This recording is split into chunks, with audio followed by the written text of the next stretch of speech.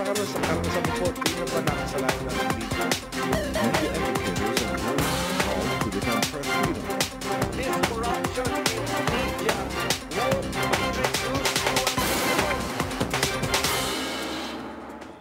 Good evening. You're watching News Cafe on the Solar News Channel. I'm Mitzi Borromeo. Tonight we are joined by Diwa De Leon, multi-awarded film scorer, arranger, composer, and live musician. He is also one of the founders of the band Makiling Ensemble, now simply known as Makiling. Good evening, Diwa. Thank you for being on the show.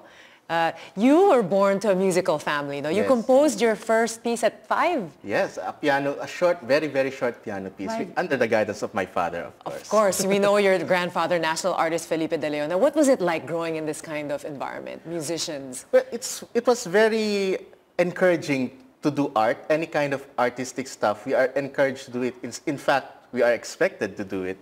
Uh, so uh, I, I, I grew up listening to classical music, Kundiman music, uh, ethnic music, everything I was exposed to because of my father. Yes. So did you feel pressure that, that I have to grow up to be a musician? What, what was it? I mean, was it a Well- natural thing for you? At, uh, at a younger age, before teenagers, before I was a teenager, it was a natural thing. I, Mm. I thought na every day, uh, every other children marunong din ng music oo. eh. Kumbaga, Normal ayun lang, al- alam mo may konting na, pagka-naive pa na Oo. innocence. But later on, as I grew up, parang, teka, are they grooming me to become a Right. musician like them also and, or an artist? So at, later on, I felt some pressure. Because you went to the Philippine High School in Makiling, where you graduated valedictorian, right? Of course, that's, that's, that's a start of also a lot of the nurturing for your musical career. Well, it's, What- it's, I would consider my time in Philippine High School for the Arts as one of my peak uh, Mm. artistic uh, uh, realizations. Because back in elementary, I was one of the lowest, lowest grade students. Really? And when I, trans- when I went to high school in Makiling, uh, I totally transformed. Hmm. I, so I, I was encouraged to study and everything went changed for me in Philippine High School for the So what is the method like? I mean, how do you feel um, having gone to that kind of school? Because you also met your bandmates there, your yes. Makiling bandmates. What do they actually teach you that nurtures this artistic spirit in you? Well, first of all, I feel I feel very blessed to have gone that, to that experience. Oh. Pero uh, yun nga eh, parang doon din sa Philippine High School for the Arts, it's like a multiplied version of my family. In Hmm. Philippine High School for the Arts, they teach you to appreciate all kinds of cultures, music, arts, visual arts, dance, and they do not discourage you from learning any particular kung for example, yung time na yun, sikat yung Nirvana Oo. if we want to listen to Nirvana, but we can also listen to Mozart and Beethoven and Kondiman, we are all encouraged to absorb all of these uh, Well-rounded knowledges. talaga, Oo. no? Very- yes, very. But you also tried to veer away from that because you felt medyo may trappings ka na sa musical life, Exactly. no? You went into visual communications. Ah, visual, arts. I'm sorry. In Philippine High School for Arts kasi there are uh, arts majors you're, uh, you can enroll in, so visual arts, dance, music, Mm-hmm. and uh, creative writing. I enrolled in visual arts. It's like the first two years of fine arts in UP. So I, I took visual arts because I felt na I was expected too much to become a musician because my family, they're all wonderful musicians. Mm. Some are musician lawyers, etc. But for a time I felt, is this really all I can do? So Mm-hmm. I tried to challenge myself and be a visual artist. But of course, eventually, Bumalik ka rin, no? I went back to music because I felt it was really the one I wanted to do. You embraced your roots, right? Exactly. So when you were in Makiling, uh, you met your bandmates. Yes. Tell, tell us the story. How did you come together? How did you form Makiling Ensemble? Uh, my bandmates, the five of us, we did not really start as good friends. Some of us were, were uh, rivals even. But eventually, we grew close as uh, the years went on by. And luckily, after high school, we all went to uh, UP Diliman. So in UP Diliman and in Mak- Makiling, we, we, had, uh, we had these uh, productions where we were encouraged to be the musicians and the visual artists for, for performance arts. Uh, for example, shadow play productions. I was always tasked to be one of the music, uh, music production and my other bandmates would be part of the shadow play or sometimes we would interchange. So we formed a certain bond Yeah. that uh, we did not want to lose when we went to college. So why not? Let's let's still be together uh, in a band and Create together. Create more. Yeah. Uh, let's do some more of that stuff that we used to do, and it's it all started from Yeah. there. Now you all had different musical interests. Some liked hip hop. Yes. Some liked alternative music. How did you reconcile these different Well, in, to in form the your Philippine? High School for the Arts, one of the main major things that they teach you is appreciate Philippine music. Mm-hmm, of course. And we all grew fond of Philippine music. We listened to Joey Ayala, Noel Cabangon, mm. Grace Nono, who is also a graduate of Philippine High School for the Arts. And it was that common interest that glued us ah. together. So, sa even if one of the members likes hip hop or uh, pop songs, we would still use ethnic music as the base and we would inject other elements from other music from time to time. Galing. So you would classify your music as it's called Filipino world music. We, we, we coin it, we coined the term Pinoy, world Pinoy. music because world music is such a vague term. Exactly. Eh, I think it's just a term used by record labels to label something that they don't really understand. Mm-hmm. Ah, this sounds pop, but it has some jazz or Latin elements. Let's put it world music. so it sounds a little ethnic, then it Yes. becomes world. So we made the term Pinoy world music to specify this is world music that comes from the Philippines. Yeah. Usually world music is a bit underrated. No, we have so many great musicians. I mean, even with your music, um, it doesn't really go commercial. Why do you think that happens? Well, I think uh, it's not just in the Philippines. I- It is a world worldwide phenomenon yes, that exactly. uh, people prefer uh, top 40s hits. Mm, mm-hmm. And I think it's something that we already accepted at a young age. So we did we do not really try to compete with the mainstream art, artists and uh, mainstream music. Instead, we just focus on those people who really like the world music and Yeah. we invite them. So we do not try to force uh, he's, he, he likes Lady Gaga. Let's force him to listen to.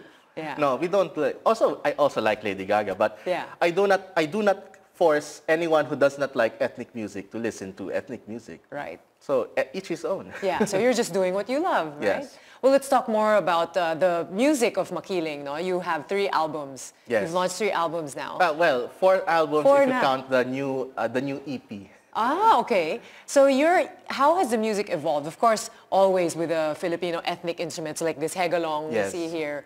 Um, when you first started out, what were you trying to do? What, what kind of album were you trying to put out?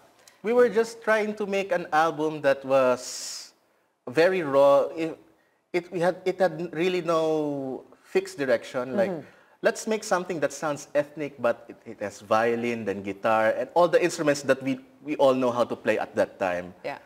So, So- this first album was called Malakas at Maganda. Ah, the, the first album is Medyo Modern. Ah, sorry. And it, it was mostly acoustic, but ethnic also. Mm-hmm. The second album, Patintero, ilalim ng buwan, we, we tried to incorporate pop songs and lyrics this time.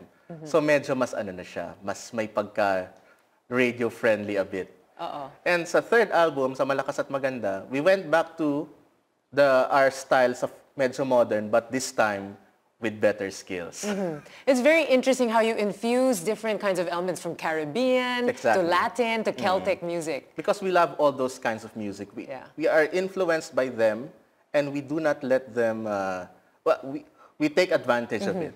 So we use all of it. So you bring in these influences Yes. and make sure you know somehow there's jazz, a bit of pop, a bit of rock, electronica even. Hmm. Exactly, ah. One of your tracks has Noel Cabangon as a Yes. as a guest vocalist. We're very lucky. You, yeah, he guested here too, and very, of course, very much within your genre. Mm, No, um, with some of these collaborations, how did they come about? Is it um, something that you well, you've worked with many different artists Mm. in the past, no? With, with, with, uh, with Noel Cabangon, it's very easy because he's very down to earth. One Mm. of the, uh, the most humble persons I've ever known Totoo is yun. Noel Cabangon. And when we asked him, hey, Kuya Noel, pwede ka bang kumanta sa second album namin? O sige, kailan? Sabihin niyo lang, sa studio. Pa- Talagang ano, napakadaling kausap dahil madala, madalas na namin siyang nakasama sa ibang performances and medyo kabanding na rin namin siya. Yeah, you've gone a long way from your first performance was in CCP, wasn't it? This was Yeah, 19, was it 97. 1997? Tell us about that because it was what was called Biyaheng Makiling. Yeah, no? Biyaheng Makiling is a, an exhibit of the Philippine High School for the Arts students. And we wanted to, to, uh, to, to get involved because we just graduated and we feel na pwede may K pa kaming maki, ano, makisama. So, Tata Nanding, the director, Nanding Josef, at that time, we ask, hey, Tata Nanding, can we perform uh, as one song number lang? Sige na, kahit walang bayad. Ganun yun, no? When you oh, that's how we- that's how everyone starts. So he let us perform, and that was it. Yeah, that was the start of the career. yes, exactly. Right. Now, along the way, you, of course, you went solo. So you felt that you wanted to veer a little bit away from Mm. Yeah. the, the way, well, the, the, the, thrust or the style of makiling. What happened? How Mm. Because uh, the style of makiling is already established as a acoustic so, and sort of electronic ethnic. Medyo ano na, may, may established sound na. I want to explore some techno sounds, but I feel I feel na hindi siya bagay sa established sound ng makiling. So there are th- there are these kinds of music na I want to explore with the Hegalong. yes. But I want to do, do it in a, a different style na medyo extremely different from makiling. So I do it on my own. So basically, you wanted more creative freedom. Yeah, something like that. Yeah, but you still perform with makiling. Yes, we, now we still perform regularly twice a month. Yeah. So how did the band, uh, let's say, influence your solo career? Well, for a time, uh, for a time, mga 10 years na. 10 years na, I was very focused on the band. Hindi ko pinapansin if I would get a regular job or a day job eventually. I eventually I noticed, hey, uh, my bandmate is now teaching at this school and he's now also a professor at ganito ganyan. What what am I doing here? Parang so I I uh, I- I- Existential questions. Oo, parang ganun eh. Parang, so, I tried everything. Parang, all, all kinds of jobs. Call center, and kung ano-ano pa, arranger ng karaoke, karaoke music.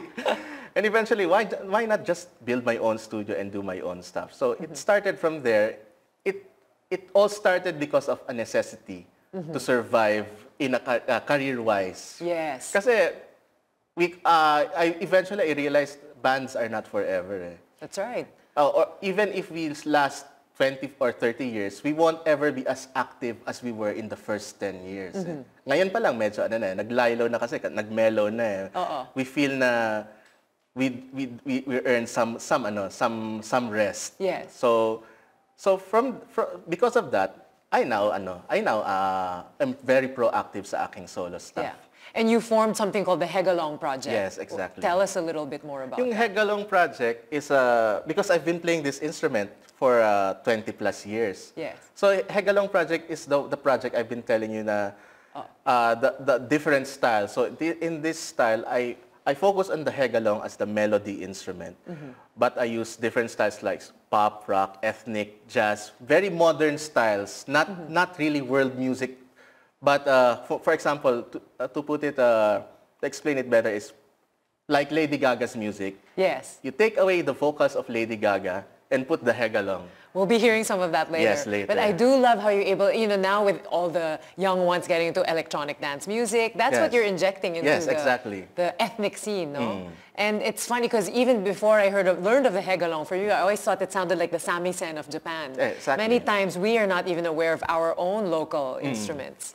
So for you, it's kind of an advocacy also educating the uh, Filipinos. kumbaga, we have this beautiful instrument. So instead, I, I can play the violin and guitar, but I could also use I could also use those two instruments for my solo stuff. But why not? Why waste uh, a beautiful instrument that no one else has? yeah, that's So- and you even make these on your own. You build. Uh, I, I, des- I sketch the designs, but I have a real professional guitar maker do the, the hard stuff. yeah. Now you've won many awards also for well in your individual career for film scoring, Yes. like the recent musical. What was it? Um, Emir. Emir, yes. Um, you've done also. Um, you won the Gawad Urian in 2013 Best Music for the film Baybayin. Yes. So what is it like working on a musical score versus, let's say, your own musical Hmm. compositions and then a TV jingle or TV commercial jingle? It's all very comfortable because I always do it in the comfort of my own chair in my studio. Eh, In musical scoring, it's really very, very one of the one of uh, one of the best uh, uh, one of the best career paths for for local musicians, especially because it's not very demanding in terms of creativity, but you ha- just have to coordinate with the director. Yeah. And sometimes uh, you, you're just given creative freedom on what you want to do, except for, of course, of course, if it's a very specific type of music that the director is look, looking for. Right.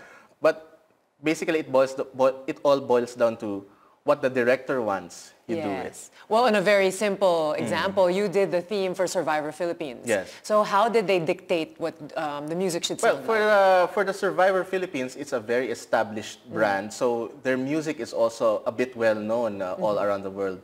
So the Castaway Productions, who is the creative director, uh, gave me a piece of music that they've already used. Use this music and put ethnic Filipino ethnic instruments to it, So and that's uh, that's the localized version. So world music for Survivor. yes, exactly. Well, we'll be talking more about your music and career later. Right now, we'll take a short break. When we come back, we will talk more about Pinoy world music. News Cafe will return after these messages.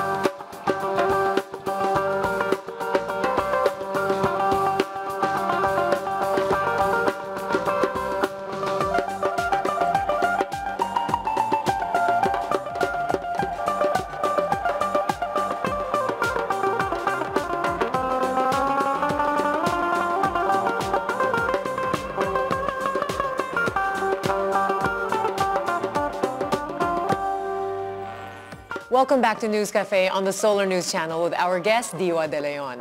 So Diwa, we just heard the song Inertia from your, what is it? This is a... It's a new single. New single. How did this come about? How did you compose this?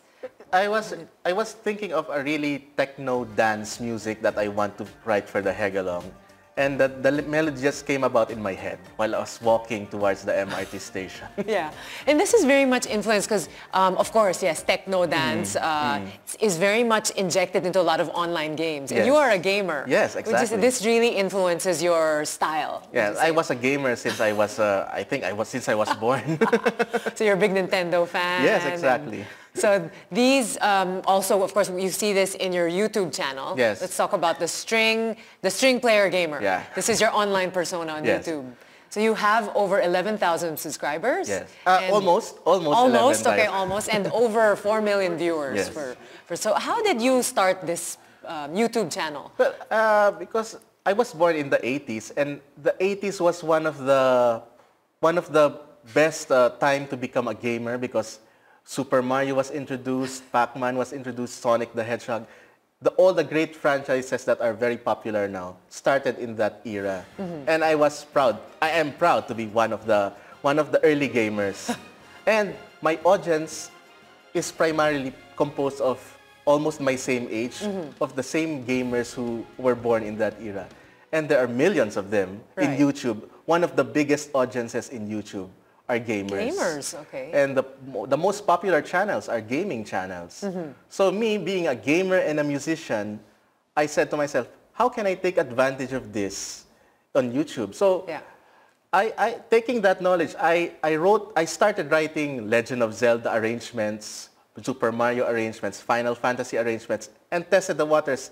Will people like this? Yeah. And they, I, I- and they did. So I kept doing it, I kept doing it and doing it for since uh, maybe since 2009, and uh, it has grown. My channel has grown ever Yeah. since. And you also take on different personas there. You dress up as a conductor, Yeah. and you have your Mario Orchestra, I dress which is just you. yeah, I, I clone myself with via camera editing. It's Yeah. just me and a bunch of bunch of costumes. It's so much fun. I love watching it. Makes me laugh, and I'm also I was really into Nintendo before. So when I see, and, and then you also do songs of Ragnarok. Yeah. Um, any any kind of gaming. Right, uh, nowadays, I, I let my subscribers request. Right. So it, it makes them feel more involved if you do if you make an arrangement of their requested song. And there's so many requests from all the kinds of games that you can think of. They have a request for it. would you say this has really helped your career having a YouTube? It's uh, it's a it's a, it supports my career because uh, I it, there, this is some something different. I can just make uh, just uh, just have fun Mm, because of course Hegalong project, music scoring, and uh, uh, TV commercials. It's all very serious business, Yeah, yeah. and you have to adhere to certain rules. That's right. But in YouTube channel, you are very much your own person. So Uh-huh. I just do whatever I think is the best. Uh, uh, most popular video games right now are Legend of Zelda, Final Fantasy. So I do those, and they, Mm-hmm. and the requests just keep on coming, and the subscribers keep on coming. So Yeah. might, I must be doing something right. And what's very interesting is you are able to collaborate with other gamers, musicians also online. Yes, uh, I have. Uh, I've been able to collaborate with pianists and singers, but I have never met them in person. I just contacted them through YouTube. Hey, maybe you want to do a, a video game song of this. I'll do the instrumental, and Amazing. you you sing it. Yeah, like I saw the one, the parody you did of OneRepublic's Counting Stars. Yes, yes. You called it Star Power. Power- Power Stars. Power Stars. How did, so the girl on there, you, I thought you Yeah. filmed it together. Yes, uh, the, the the singer is Lady Game Lyric. Uh, she writes parodies using popular songs like Rihanna songs and uh, Justin Timberlake And she's songs. based in LA. And she's based in LA. I've never met her in person, but uh, I asked her if she wants to do a, a video game parody, and then that's where it started. And of course, there's another pianist from Australia. I've never met her also, but I we, we, we, we, we both did a song from Final Fantasy. I did the orchestral part, and she played the piano That's amazing. This is all available on the, on, on, on your... the String Player Gamer channel. yeah. yeah. How do you feel about musicians and online or, social media and online Yeah. platforms? I think uh, in the Philippines, uh, social media and, for example, YouTube musicians in the Philippines are are uh, musicians in the Philippines are still unaware that you can use YouTube as a, an alternative career path, because, for example, I for example I am earning uh, through ad revenue from my YouTube Yeah. videos Yeah. and top it off with uh, CD sales of my video game arrangements. Nowadays, you can uh, put video game arrangements of other composers in iTunes. Yeah. Uh, because before you have to get a lawyer and all of that. But now it's all easier. So Filipino musician, musicians should, should know that YouTube can be used to promote their own music. Amazing. So now even, because a lot of your, like your albums, if you've used an independent label, your own. Yes, my own And label. people think that this is difficult because it will not really promote It- your work versus a commercial label. It's really very easy. It's very easy to start, eh, but uh, it starts with one share in Facebook. That's true. Just one share and everyone will share. it. If it's a very good video or very good music or very good arrangement, people will share it all over the world. And Yeah. you will eventually get your own following. But it, of course, it takes time. Everything, it take, it, everything in the world, I think, it takes time to build. I Yeah. think I, I only got, gained 10,000 subscribers early this year after uh, doing YouTube videos f- since 2009. Yeah. But then again, I was not very consistent back then. I started only post every Friday just this year. So now because of these regular posts, your following has increased.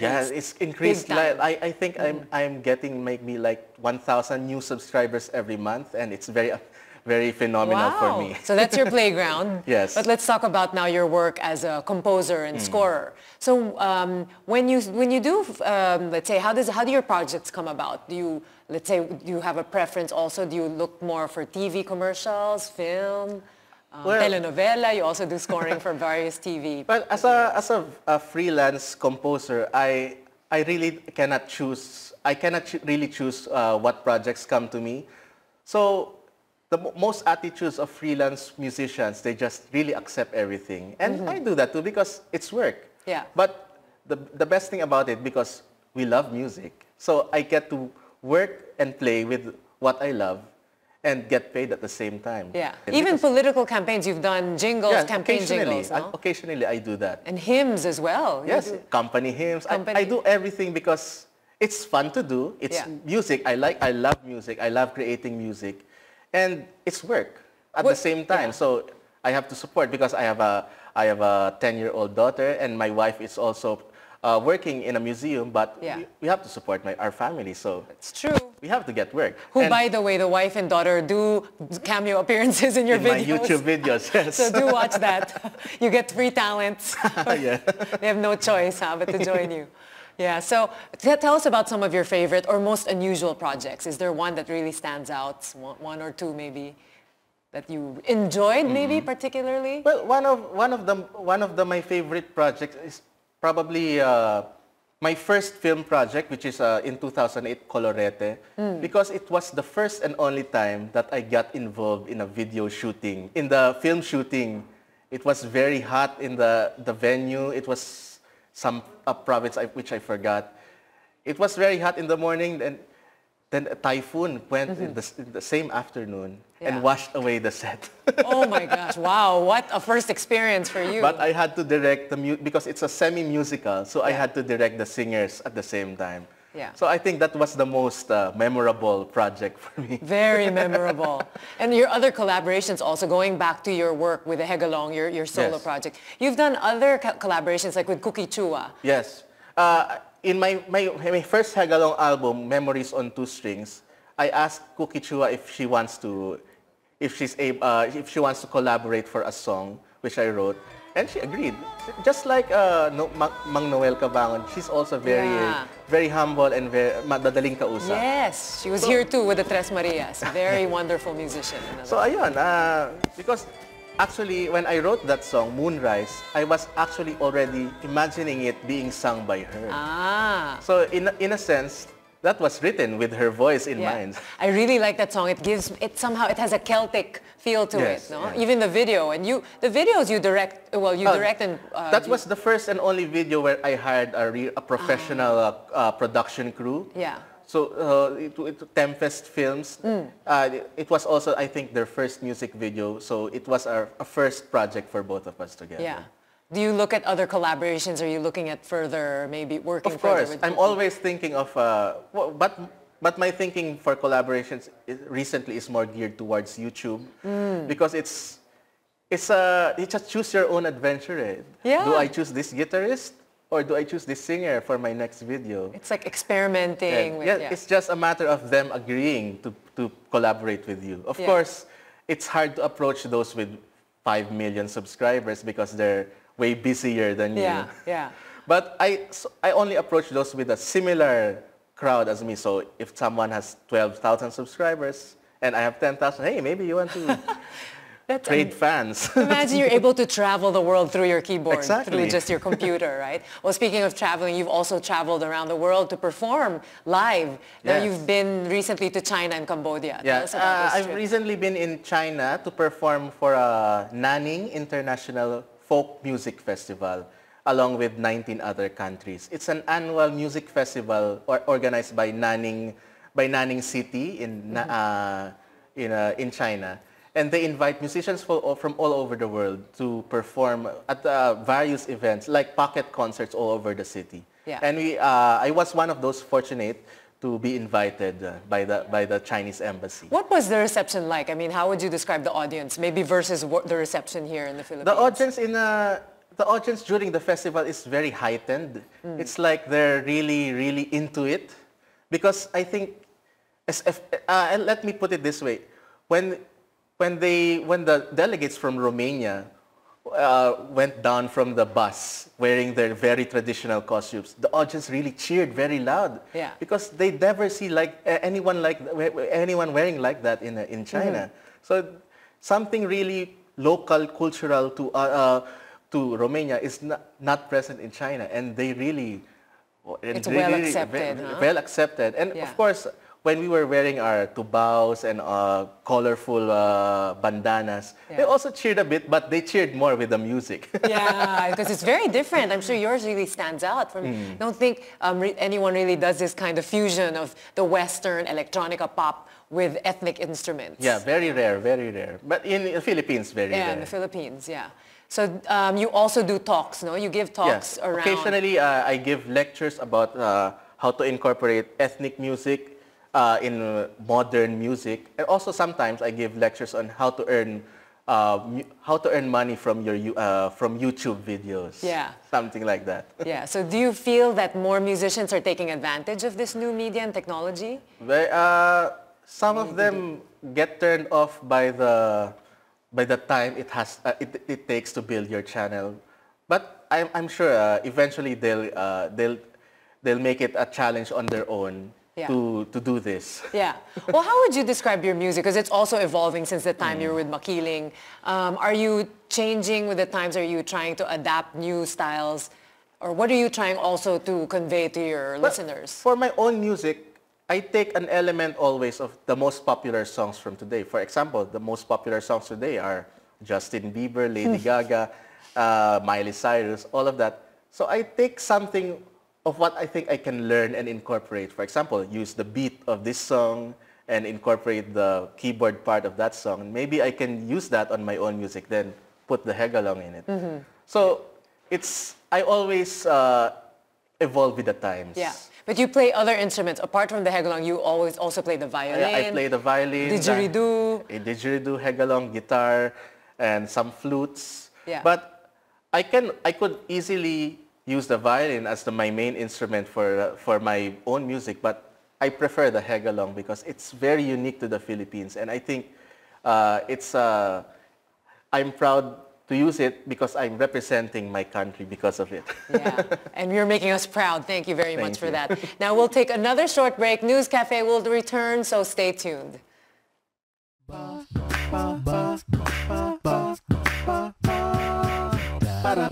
ba da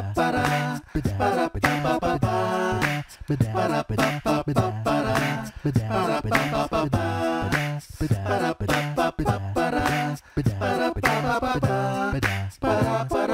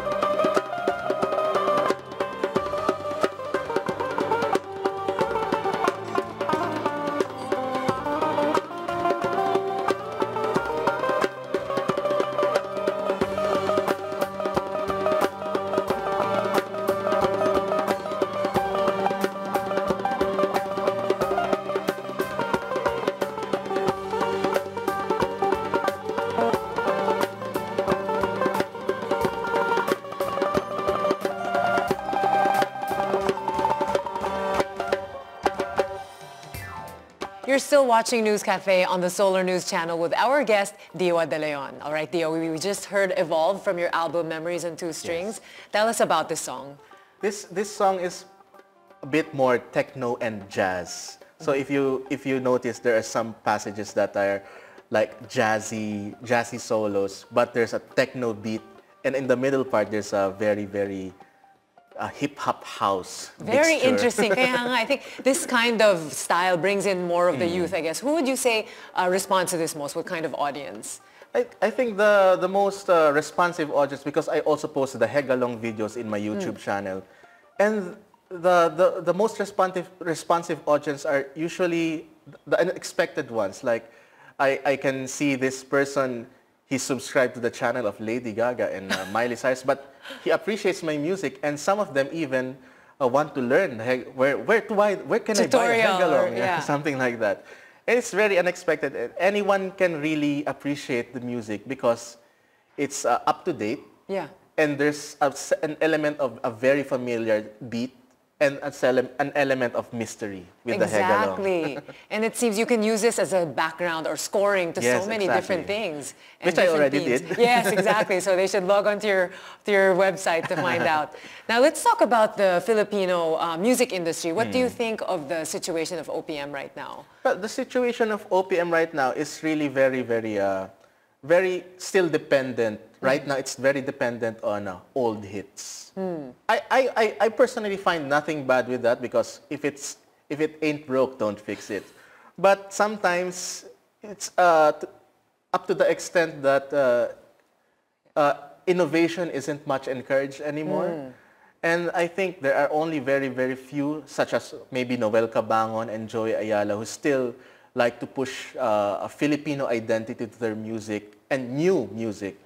But, but if I think, uh, because the OPM, Philippine music industry, is also a business, and uh, you cannot really separate the music from the, bus- from the business. So I think it's just a compromise. At least we're not purely per, uh, playing foreign music. At least even if there's a sense of uh, all just Filipino revival songs, at least still Filipino music. Right. And so with- I'm, I'm very kind Yeah. to that.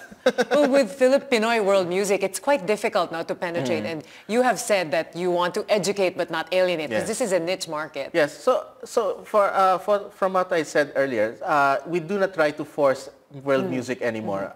In my point of view, maybe some other artists from world music will disagree with me, but I personally don't think it's going to work if you if you force feed your the world music to those who really ca- can't really appreciate.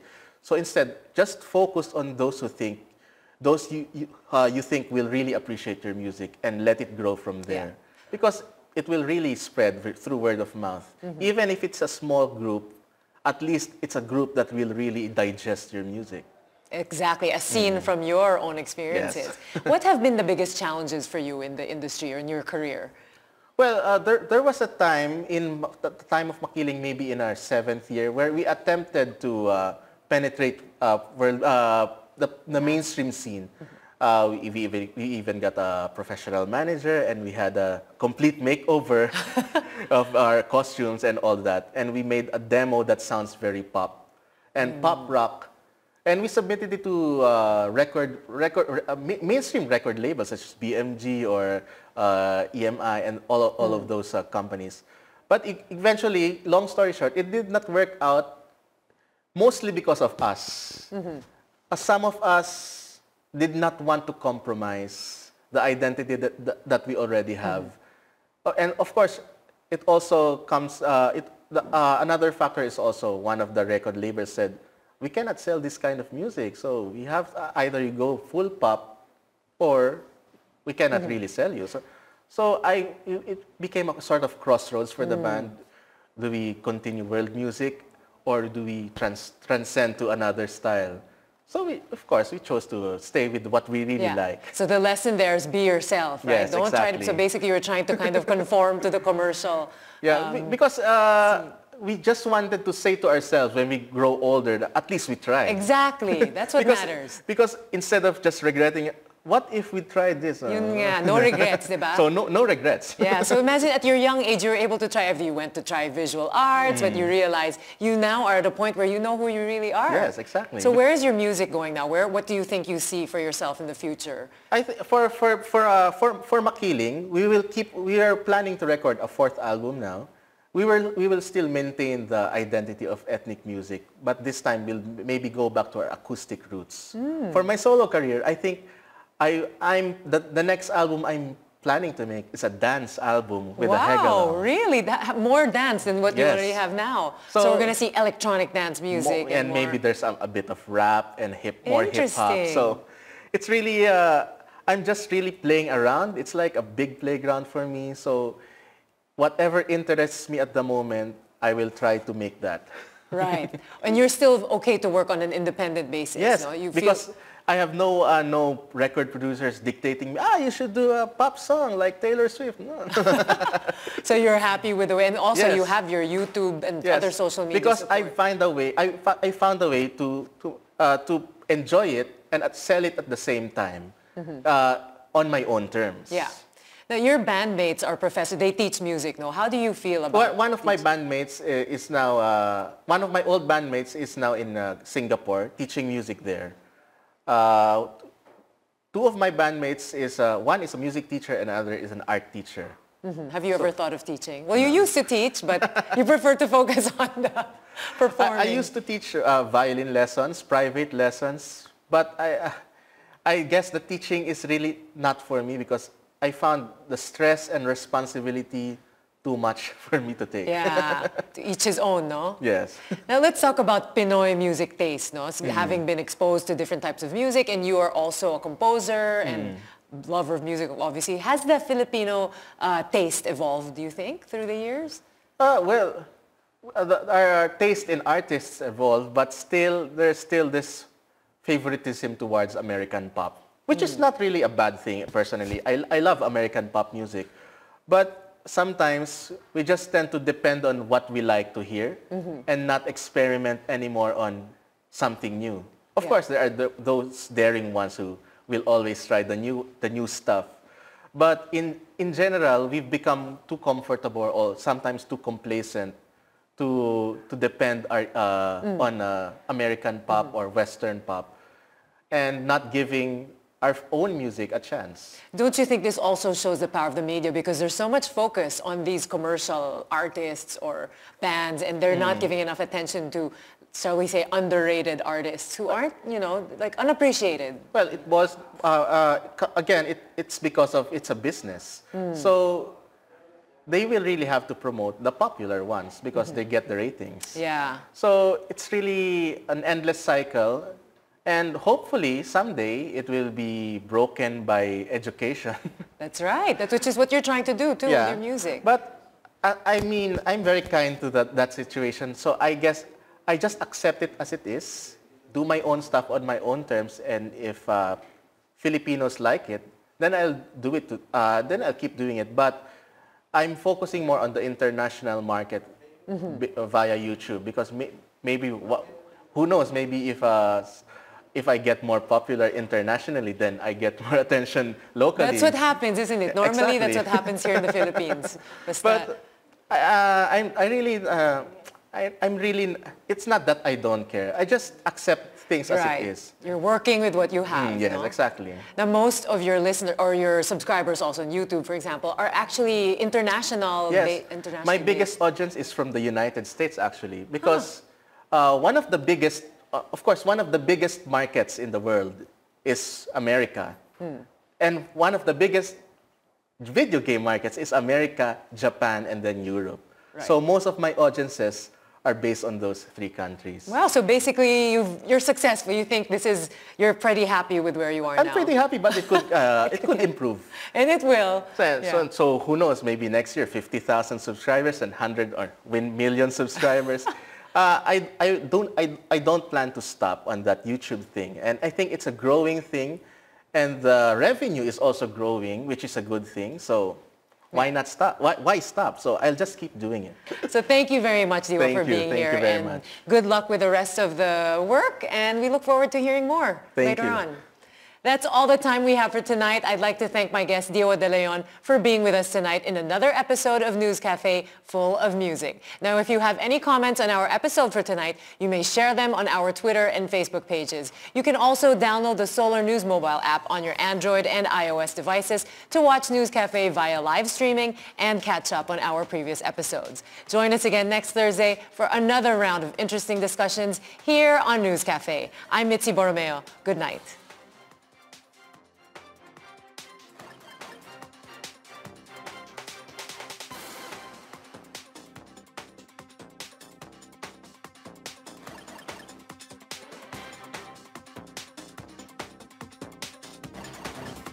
Sa karoon sa karoon sa bukod, tingnan ba namin